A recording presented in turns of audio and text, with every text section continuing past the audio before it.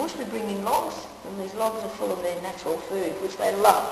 Hey, and we also give this a weighed out amount of food every morning, and we just spread it out during the day. You right there, sweetheart, you're like a little monkey. Look at this, so determined. Oh my. Look at that. You're a little kid. Isn't he gorgeous? There you go, Eddie. Now those tongues can be about 17 centimetres in length, believe it or not. And um, very, very sticky saliva too. So if you get really close, you can see at the end of their beak, their little mouths opening and closing. And like the platypus, they don't have any teeth. They've got little grinding plates.